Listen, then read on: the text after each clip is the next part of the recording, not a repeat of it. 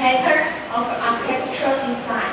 By the low angle shot, I want to present the significance of the architectural and structure of the time art. I very like the color of the building. I think it is very beautiful and bright and catch my eyes. The background is very blue sky. It makes the building stand out. When I saw the image, I feel serious, but at the same time I peaceful. Thank you everyone.